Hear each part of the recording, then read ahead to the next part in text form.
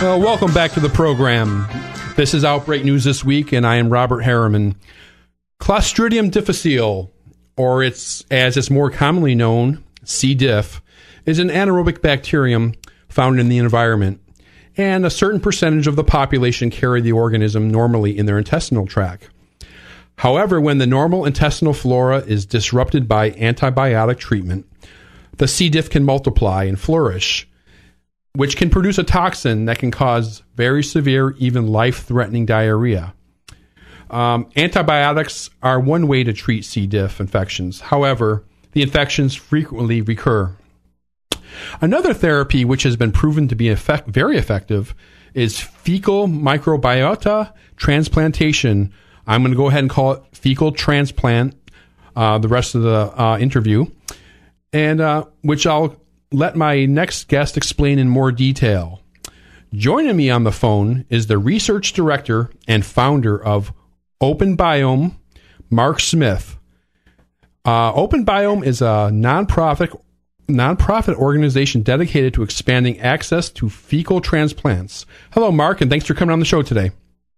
Yeah, hi Robert. How are you? Thanks for having me on. Oh, it's great to have you. When I when I saw your story, um, in another newspaper, I immediately went to your website, and you guys are definitely um, doing a great service. I have to say. Um, I guess what I'd like you to do is to go ahead and briefly start with a, a short history of OpenBiome and what exactly does your organization do? Yeah, yeah. Thanks for the question. So uh, we we started the organization um, uh, in part based on my research, which focuses on the microbiome. So I'm a also a PhD student at MIT in the microbiology program there. And uh, we were doing a lot of research on the microbiome, and we sort of started off looking at, uh, you know, sort of disease associations. And what's really exciting about fecal transplantation is it gives you the opportunity to see, uh, you know, not just sort of what bacteria are correlated with disease, but actually to see what happens when you, you know, actually change the composition of this community and, and, sort of can learn about how that how that actually impacts the disease state of the individual. And in the case of C. difficile, uh, you know, research that has been done by by a, a number of other uh, you know doctors and, and, and researchers uh, actually around the world had already indicated that uh, FMT uh, fecal transplantation uh, actually works very well for, for treating recurrent C. difficile infection. And uh, one of the problems with uh, with actually uh, receiving this treatment for patients and, and uh, providing it for doctors was the, the, the burden of needing to uh, screen and pre- screen donors uh, and prepare the material. And so, just like there are blood banks that provide uh, blood that's screened from healthy individuals to be sure that you know the, the blood that's needed for medical care isn't uh, isn't also an avenue for spreading disease. Uh, you know, we decided to start a very similar organization that would essentially be uh, a stool bank uh, that would provide, you know, just like a blood bank, but mm-hmm. using using stool for this uh, this procedure. Okay, so can you go ahead and talk more about what a fecal transplant is and how it works biologically? Yeah, yeah, of course. Uh, so the way that a fecal transplant works, uh, sort of uh, mechanistically, is the the the doctor will, you know, screen the patient ahead of time to figure out if they have C. difficile if they do and they have a history of recurrence, uh, they'll, they'll the sort of traditional approach is to find a donor, screen that donor, so make sure the donor doesn't have any common infectious agents. Then they, you know, take the stool that you guys are all familiar with, and uh, they uh, homogenize it in a saline solution that prevents the cells from uh, from from being popped or lysed with, uh, in in a, in a pure water solution. And uh, then they uh, administer it either through a colonoscopy, so that's kind of the uh, the lower GI route, or through an, a nasogastric tube, which is a tube that runs up through your nose, down down your throat, into your stomach, and then and that's sort of the the upper gastrointestinal uh, tract route of administration. So either of those are sort of uh, options, and, and both seem to work very well for treating uh, C. difficile infections. And so, uh, so that that's sort of how the material is administered, and then the the actual uh, sort of science behind it is, is still sort of a, an active area of research. But what we believe is going on is that many healthy people carry C. difficile right. uh, frequently, and uh, and so what what's believed, and, and in these people, it's, it's in, in healthy individuals, it's usually not not a problem. It's carried uh, sort of subpathogenically, and uh, what's believed to be happening is that the C. difficile is being outcompeted by the normal bacteria that that that, that reside in your gut, and uh, these bacteria sort of prevent the the C. difficile from taking over and producing pathogens. And in in in cases where patients have been exposed to antibiotics the C. difficile, which which is resistant to these antibiotics, is able to take over the community, and uh, and then it's able to to produce these these very dangerous toxins. And so, uh, fecal transplantation is believed to work by sort of rebuilding this healthy gut community and uh, in in outcompeting the C. difficile and preventing it from from uh, growing and, and releasing these toxins. Yeah, and, and, there's numerous studies showing how effective this is. I've, I've heard many physicians talk about how effective this is. However, I have to ask about your relationship um, between OpenBiome and the FDA. Um, I know there's been some back and forth between the FDA and physicians that think fecal transplants are fantastic, uh, issues of tighter regulations, etc. What is the current situation? Yeah, so so right now, uh, F, uh, the FDA is uh, a very difficult problem uh, fr- from the, the regulatory perspective here, because you know you have you have this treatment uh, where there's there's there's some evidence that it's that it's effective, but it you know still hasn't done hasn't been subjected to this you know really rigorous uh, sort of safety and efficacy standards that the FDA uh, likes to see for very good reason. And so uh, you know there's there's sort of a long history of the the regulation of this that maybe we don't need to go into fully. But the the the, the problem is if the FDA sort of uh, you know completely restricts access, then the concern is that people are going to be doing this sort of uh, without the oversight from the medical community in their homes in their in their you know in their bathrooms. Sure. Uh, and uh, you know there there's you go online, you can look on YouTube, and there'll be tens of thousands of hits to videos of people doing fecal transplants at home. I don't encourage you to, to look at these videos, but right. uh, but they, uh, they you know there's there's a there's a, a very you know active community of people that are doing this at home. Uh, you know, sometimes without screening the donors, uh, there, there are a lot of risks to doing this kind of procedure. And so the FDA was was very, I think, very uh, sort of compassionate and flexible. And what they decided to do um, was to allow what they call enforcement discretion.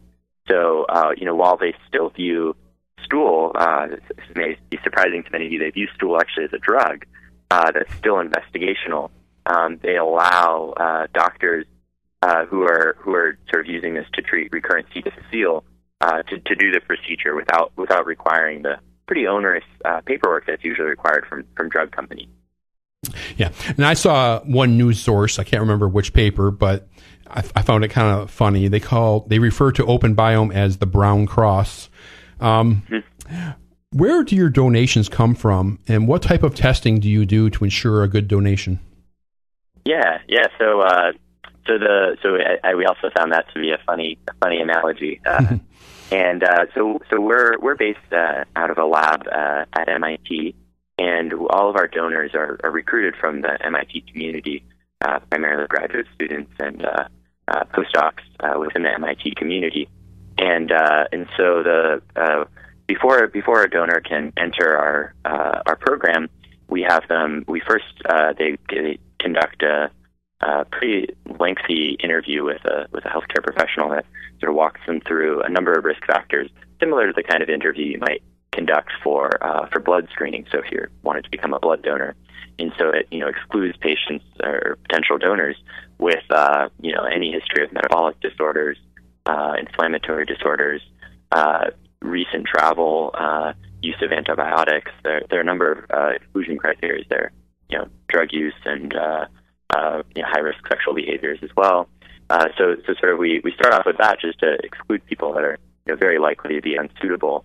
But uh, but then and then after that we collect both a stool sample and a blood sample, and there's a set of 17 different tests that uh, that that we send out to uh, uh, a, a standard sort of medical uh, screening laboratory, and they conduct a, a number of tests for for example for things like infectious agents like uh, HIV or hepatitis or uh, bacterial pathogens like uh, Salmonella and E. coli. Sure. And so they test the they test the stool to make sure that it uh, you know uh, doesn't have any of these common pathogens.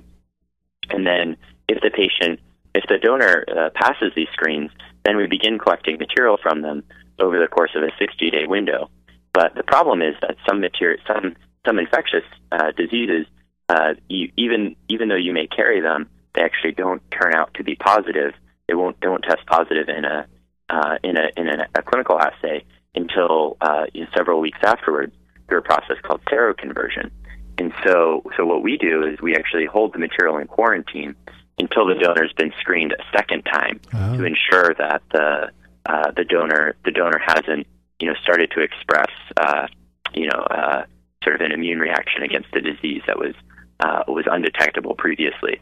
So we conduct a, an initial initial uh, interview, then we conduct a stool and, and uh, blood based assays, collect material over a window, store it in a uh, we sort of homogenize it, store it in cryoprotectant, which uh, enables us to freeze it, and then uh, freeze the material, then screen the donor a second time, and then release material that's sort of outside of this seroconversion window. And that's the process that we use. Yeah, fascinating.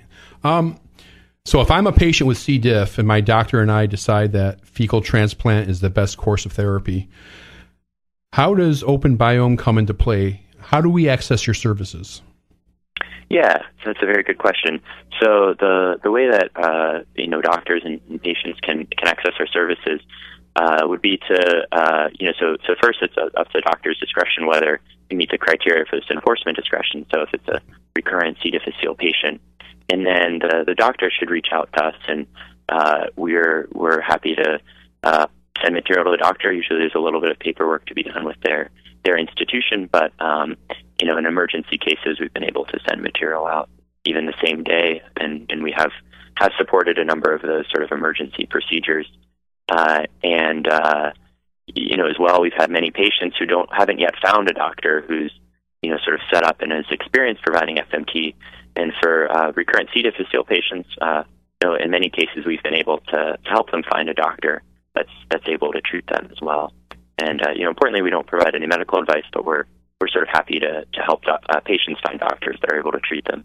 Oh, great work, um, Mark. Let me uh, ask you about the cost of your services and and how does how do people pay? Do you accept insurance? That that kind of stuff. Yeah, so so you know our our view is we want to uh, we don't want uh, sort of the ability to access material to uh, prevent limit uh, patients' ability to, to get this treatment you know, C. difficile, just for kind of perspective for, for folks that aren't familiar with it, uh, it's thought to infect about a half million patients a year in the U.S. and about 14,000 people die a year from it. And for us, it's very frustrating because the so the, the overall efficacy, if you take patients that have failed multiple rounds of antibiotics and give them an FMT, the the efficacy is about uh, 90%. Right. So uh, the fact that there are so many patients that are still dying is we see as a big public health problem, and we don't want uh, sort of the logistical dif- difficulty and cost of uh, you know getting material and uh, screening it to, to prevent access. And so, uh, so we were uh, funded by a you know, significant donation from a family foundation that's very concerned about this, but wants to stay anonymous. And uh, they've uh, they've very generously funded us to get set up. And sort of the the criteria um, with this with this foundation was that you know we would they would provide sort of initial uh, funding to get us off the ground, and then we would fund our ongoing operations based on a service fee that we charge to hospitals. And so we charge a $250 uh, service fee for, for every every uh, patient, and uh, you know, to sort of uh, for comparison, usually just just doing the screening alone without the um, you know the cost of uh, uh, actually you know preparing the material and storing it and stuff is is is a little over fifteen hundred dollars, and so it has provided a, a big savings to uh, to to doctors and patients, but probably the biggest factor is it really just makes the procedure a lot more simple logistically. And in some cases, that's covered uh, by sort of the facility fees and the, from the hospital. Sometimes it's covered by insurance, and uh, you know sometimes patients do need to pay out of pocket. And our view is, you know, if they're if they're going to be paying out of pocket, much better for it to be, you know, a, a smaller fee. So that's that's how we that's how we've been able to make this sort of a, a sustainable service that, that we hope will be scalable to the you know the very large problem with the C, C. difficile epidemic right now. Right. Um, now, there's a lot of people out there that are suffering from other types of GI conditions, uh, IBS, Crohn's. Um, is is OpenBiome a place for them? Yeah, so so right now, OpenBiome is, is, is not able to support uh, treatment for those conditions, but um, we're very happy to support uh, research from you know uh, doctors and, and, and other scientists like myself. And so, you know, our view is that uh, we sort of have a two pronged mission with the organization. One is to uh, be able to to treat patients right away that uh, that that are um, you know where where there's evidence that this is an effective treatment.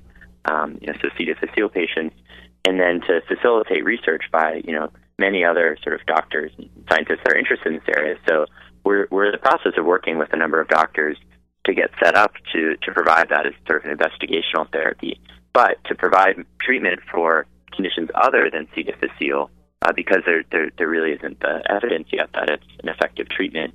You need to go through a very burdensome uh, process uh, of working with the FDA through this investigational new drug application. Right. And uh, and so there are relatively few doctors that are able to do that, and it takes you know uh, several months to get set up to do that. So we're in the process of uh, supporting uh, some of these investigational new drug applications um, right now, and sort of in the early stages, and we hope to be able to you know. Uh, help a lot of doctors, uh, you know, research that and, and develop it. But but right now we're not we, we don't have any that are set up yet, and uh, probably won't for the you know the next few months. And uh, you know, for now, unfortunately, there's there's not much that we're able to do directly for those patients. Right. And uh, l- lastly, um, where can someone go to learn more about OpenBiome and the product you offer? Yeah, so you know we've got a lot of information available on our website, which is openbiome.org, b-i-o-m-e dot org, and uh, uh, there's there's a lot of information there, and we're happy to to take uh, you know, requests for information from from doctors and patients and just people that are interested in this from the public. And, and what's your website name? Openbiome.org.